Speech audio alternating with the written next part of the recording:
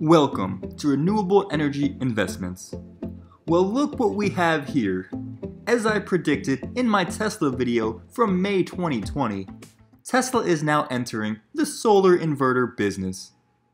In this video, we're going to take a high level look at what Tesla might be up to with its new inverter, and how this could affect Enphase and Solar Edge. First, we'll compare the Tesla inverter to other inverters on the market, and discuss what the Tesla inverter means for Tesla's sales and profitability. Second, and most importantly, I'll share my thoughts on why releasing its own inverter could be a sneaky big deal for Tesla. I'll speculate on why this inverter may be a key for Tesla achieving its end game.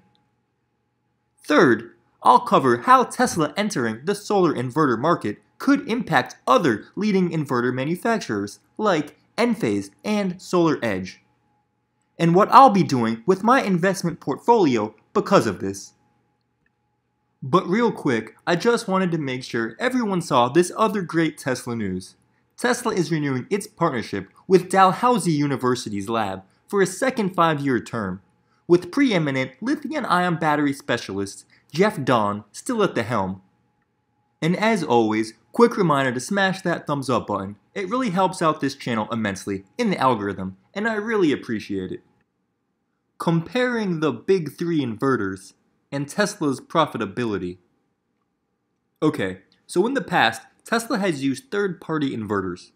One of the most common inverters used with Tesla's solar panels has been the Solar Edge HD Wave inverter, which is pretty much the best string inverter on the market. Enphase is renowned for having the best microinverters on the market. Below is a chart comparing the specs of these three inverters. So Tesla is a bit behind Solar Edge when it comes to two key metrics, inverter efficiency and panel monitoring. Tesla's CEC efficiency is only 97.5%, while Solar Edge's operates at 99%. Tesla's inverter only has string level monitoring, while Solar Edge's inverter is capable of monitoring each solar panel individually. While this is not ideal, the Tesla inverter should still sell plenty fine, especially when Tesla bundles its inverters with its solar panels and Powerwalls into one very attractively priced package.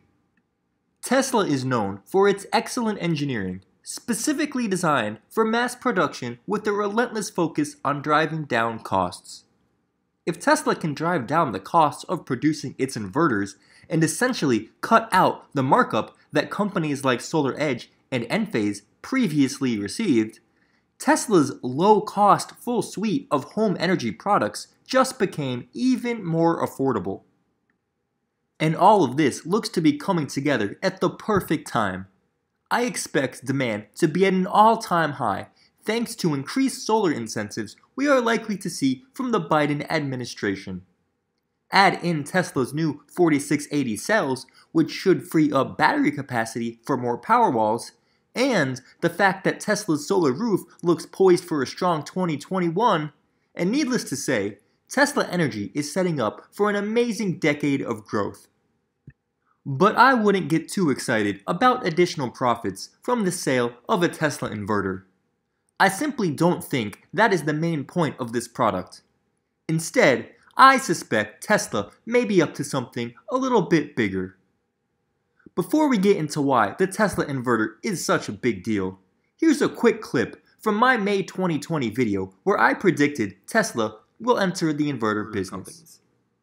Tesla's current lineup of energy products has a missing link, the solar inverter. Solar panels generate power and batteries store power in the form of a direct current, or a DC current.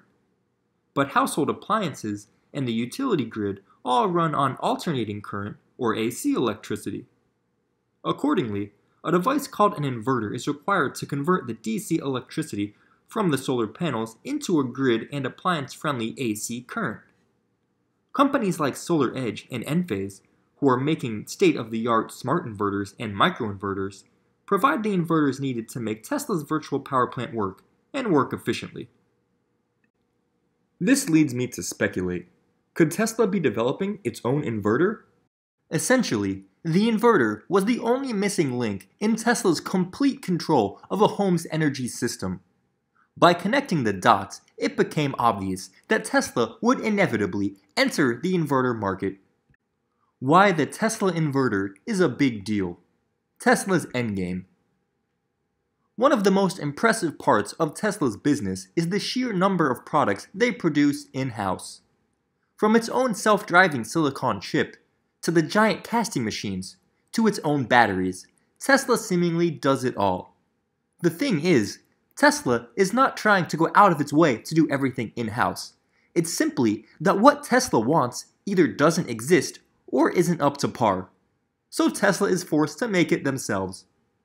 So perhaps the solar inverters on the market today simply aren't delivering what Tesla needs. It's no secret. On a community wide macro level, what Tesla really wants is to create virtual power plants. This is the endgame. And to optimize the virtual power plants on an intra home micro level, Tesla may be setting its sight on creating smart home energy management systems capable of optimizing any single home's energy flow. From a high level, virtual power plants will consist of both hardware and software. The hardware needed, of course, is the solar panels, batteries, and inverters. Then, you layer software on top of that hardware that can speak to the household appliances, batteries, neighboring households, and the grid, all directed by artificial intelligence systems to optimize the flow of energy between these parts. What's interesting is that the inverter may play an especially critical role in the virtual power plant because it is the first destination for electrons after they leave the solar panel. This means the inverter is located at the perfect choke point to collect data about how much electricity the solar panels generate at any given time and under any given weather conditions. Collecting and understanding this data is very important for the artificial intelligence system that uses algorithms to optimize the flow of energy. This also makes the inverter the first potential decision point from which the artificial intelligence can theoretically direct electrons. Working in tandem, the AI and the inverter can decide where to send the electrons. Maybe it sends them directly to power certain household appliances. Maybe it sends them to the hot water heater to create and store thermal energy. Maybe it sends electrons directly to the grid. Or maybe the inverter decides not to invert the DC current to AC after all, and instead lets the DC current flow directly to a DC coupled battery, avoiding an unnecessary energy loss by eliminating excess conversions. This would all be made possible by controlling the first choke point in the flow of energy, the inverter, which is perfectly positioned in the path of electrons to be the base from which the artificial intelligence controls the flow of energy. Owning this key bit of hardware is the real reason why I believe Tesla entered the inverter business. Tesla's solar inverter completes Tesla's home solar system converting DC power from solar to AC power for home consumption. Once installed, homeowners use the Tesla app to manage their solar system and monitor energy consumption, resulting in a truly unique ecosystem experience. Key features Wi Fi, Ethernet, and cellular connectivity with over the air updates. Designed to integrate with Tesla Powerwall and Tesla app. Unique to Tesla's inverter are over-the-air updates. In the same way that Tesla provides software updates to its electric vehicles over Wi-Fi, or that apps on your phone periodically update via Wi-Fi, the company plans to similarly provide over-the-air updates to its inverters, updating the software of the inverter with any future updates on the fly. In order to achieve this, the battery has both a Wi-Fi Ethernet connection as well as 4G LTE connectivity. Let's just say these over-the-air updates could become very significant as Tesla expands into smart home energy management and virtual power plants. The virtual power plant opportunity is absolutely massive. I have no doubt that Tesla is going to put a tremendous amount of hardware and software engineering into this puzzle. The inverter is another fantastic display of Tesla's vertical integration, which is the name of the game. What this means for Enphase and Solar Edge. Before I dive into my views on how this affects Solar Edge and Enphase, quick reminder to smash that thumbs up button and subscribe to this channel. It takes a ton of research and original thinking to create this type of content, and any support is much appreciated. Okay, Back to it. So, inverter company bears have long pointed out that inverters may eventually become commoditized, causing profits to be squeezed. This is exactly what happened to solar panel manufacturers this past decade. But because Enphase and Solar Edge have enjoyed best in class patented technologies, they have enjoyed high margins and have been extremely profitable. As we can see from the specs, Enphase and Solar Edge's inverters still have superior efficiency and panel level monitoring to Tesla's. Although Tesla will surely take some business from them, over the short term, Enphase and Solar Edge are likely to do just fine given their superior specs and the fact that the solar market is set to expand rapidly. But let me be clear. In my opinion, Tesla officially entering the inverter business is quite significant and is not good news for SolarEdge or Enphase.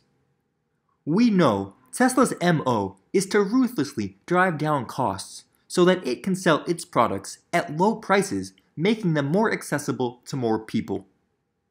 If Tesla grabs a big enough inverter market share, this price lowering mentality could help trigger the commoditization of inverters and squeeze the profits of competitors like Solar Edge and Enphase.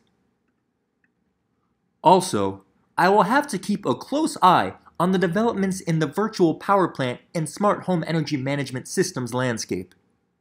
This landscape is ever evolving, and software and artificial intelligence may ultimately decide the winners and losers, much more so than any hardware components.